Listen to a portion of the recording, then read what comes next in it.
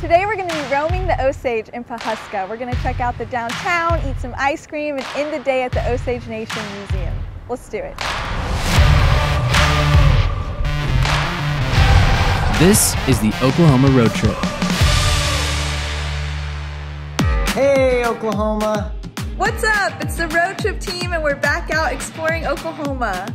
And as we're out traveling to all these amazing places, we're taking all the special precautions to make sure that we are safe and all the people that we're visiting throughout the state. And remember, whether you're ready to get out of the house or not, might as well come and take a virtual road trip with us right now. Okay, here we go. Woo! Let's go! From Okarche, the team makes their way northeast to Pawhuska. Our first stop of the day is roaming the Osage Historic and Scenic Tours. Right, so we are in a Mercedes van right now in Pawhuska, Oklahoma. I'm with Casey, and we are on the Roaming the Osage tour.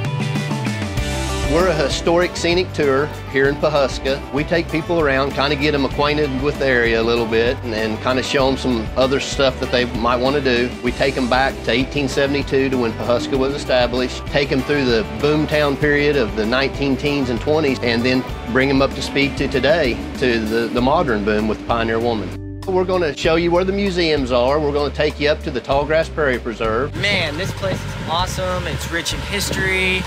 There's buffalo right over the hill there. So I feel like when people think of Oklahoma, truly they think of the prairies, the wide open spaces, and they really are so beautiful.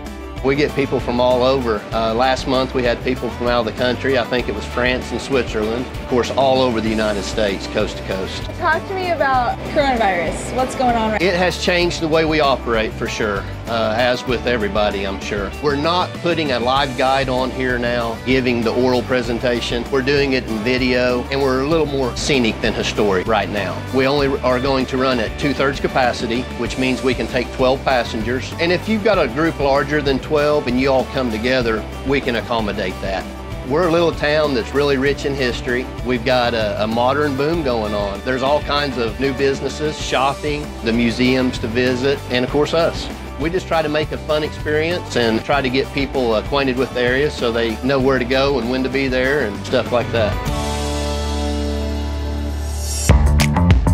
After finishing the tour, the team continued to explore downtown Pawhuska. The city is known for its unique blend of Native American and Western culture and is home to a wide variety of shops, restaurants, and other attractions for visitors to enjoy. So I think you all have heard of the Pioneer Woman. Here's her restaurant, the Mercantile, is very busy as usual. We're just walking around downtown Pawhuska, gonna go in some shops. This place is so cute.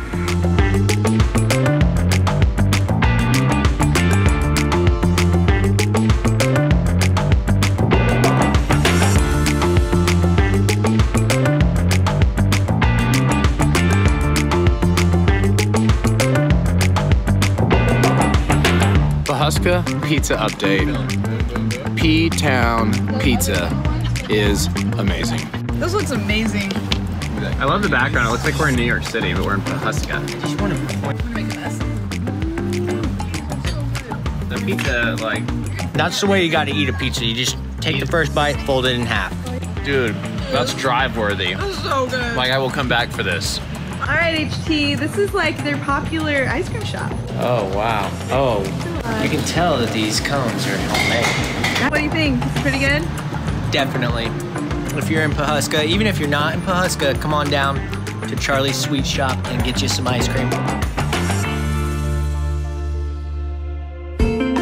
From downtown Pawhuska, the team makes their way to our final stop of the day. We are here in Pawhuska, Oklahoma at the Osage Nation Museum, and I'm here with Marla. Hi. Tell me, what is the Osage Nation Museum? One of the things I think that's most significant about it, I've heard it described as a, one of the cultural hearts of the people because it is a repository of our Osage culture, our archive materials, and our collection. It is the oldest tribal museum in the United States. We're really getting to hear the story and getting introduced to the arts and the history and the culture of our people from the perspective of the people. This fall, we're opening up the exhibition Voices from the Drum. It was a project of the Osage Nation Foundation, and this features 19 artists, and there's a real diversity of of, voices that you hear there. Our traditions, our culture, we still maintain strongly the best we can through our dances, through our languages. So the art is kind of like an everyday thing, you know, kind of uh, our identity. Just growing up Osage and just as a Native American, the culture around me, that's really influenced to me and who I am today. When I painted this, I was pregnant, about four months pregnant with my son. This is an Osage cradle board with a baby on it. They're incredible. Their pieces are so beautiful. And you can see that sort of continuity in the generational perspective, but also the individual voices that they have and how they take it in their direction. We are currently prepping for exhibition and also renovation and an expansion. And we have put together a protocol. We're following CDC guidelines for social distancing and PPE. Right here we have a, a painting by my father, Jim Redcorn. He was one of those artists that was always about Osage history, always about Osage culture. But his was to really capture it with a sense of integrity to the history and to, the, to who we are today. Today's road trip, the team explored a few of the places that make the Pawhuska area so special. Our first stop was roaming the Osage Historic and Scenic Tours. This van tour is an incredible way to admire the scenery and historical locations throughout the Pawhuska area. Be sure and make your reservations today. Next, the team continued to explore downtown Pawhuska. The downtown area offers visitors a wide variety of shops, restaurants, and other attractions, with an atmosphere that celebrates Pawhuska's Native American and Western culture. Finally, we finished off the day at the Osage Nation Museum. It's the oldest tribally owned museum in the United States, and it's home to numerous historical artifacts, as well as traditional and contemporary art created by members of the Osage Nation. And the next time you're in the area or visiting any other Oklahoma destination, be sure to share your photos with us using the hashtag RoadTripOK. And remember to grab your free copy of our 2020 travel guides. Join us next time where we'll visit the Woolaroc Wildlife Preserve, check out Price Tower, and Frank and Lola's. We'll see you then.